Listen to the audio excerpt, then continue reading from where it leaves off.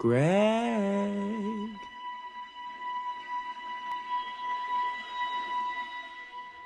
Aí na pegadinha do Mario Games, uh! Aqui pra ti, pegadinha!